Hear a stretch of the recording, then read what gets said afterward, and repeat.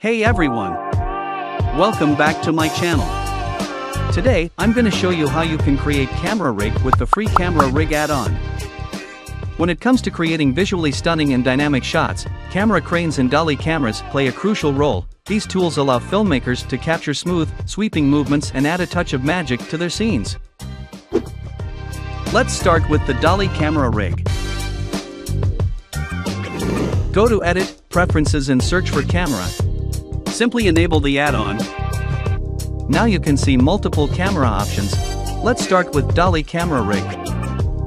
Select your camera and enter in pose mode.